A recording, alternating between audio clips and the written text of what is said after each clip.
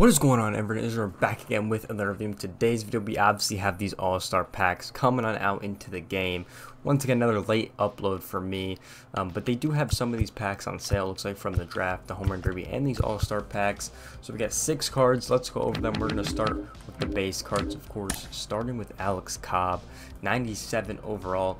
Obviously, first time making the uh, all-star game and it's also the first time the NL won the All-Star game in like 12, 13 years. So pretty crazy overall. But he's got a good mix right here. The sinker, the, the splitter, the knuckle curve, the slider, the fastball is pretty good overall. He doesn't have any outlier or anything like that. Does have some decent quirks. And his stats are pretty good overall. Not a terrible base card at all for Alex Cobb. I think it's actually one of the better ones. Um, but also another Cano card. I mean, people talked about this. He's got so many cards this year.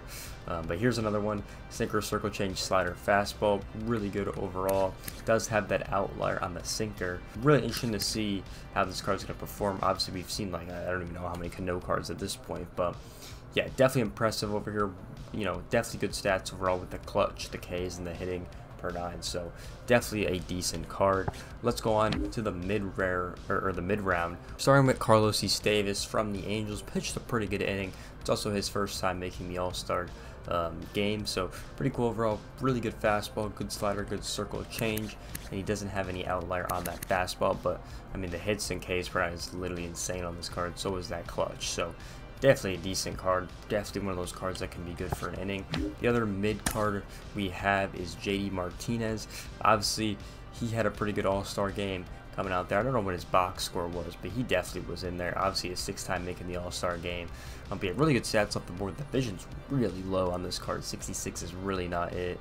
Decent fielding, not the best speed, so not an insane card. Definitely a DH card in my opinion. Next we get to Yandy Diaz, who's in this rare round. Definitely had an impact on this one. First time making the All-Star appearance. Obviously plays first, second, third, and left. He hit the first home run and got the first run for the AL, which was pretty impressive.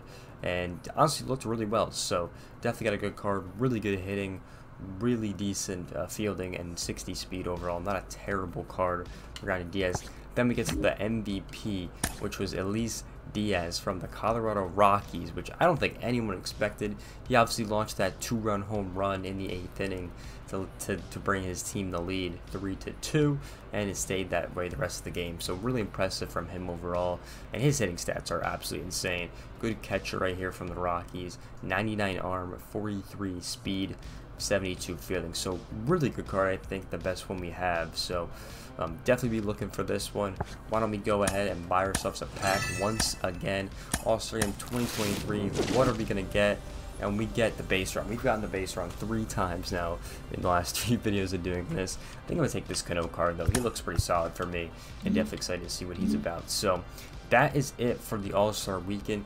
These All-Star Game packs, the Home Run Derby packs, and the Draft packs will be in tomorrow's um, All-Star All-Star program, which if we go to the schedule right here, um, we can obviously see that. So they've updated the schedule a little bit, so obviously the three things on, on the left side are currently done the All-Star Game program, play the new program with missions, conquest, and, uh, and missions overall at moments, and then earn 2023 All-Stars, Home Run Derby, and Draft Series players. So I don't know if they're to, I'm pretty sure they're to add a couple new players to the Draft Series, I think. Um, I don't know about the All-Stars and the Home Run Derby. Well, not the Home Run Derby, but maybe the All-Stars. But we'll be live on that on the channel tomorrow um, at 2.45 Eastern. We'll be live with all that content. But hope you guys enjoyed this video about the All-Star Game packs. It obviously just dropped in the game, so definitely had to make a video currently 2 a.m. as we're recording this one.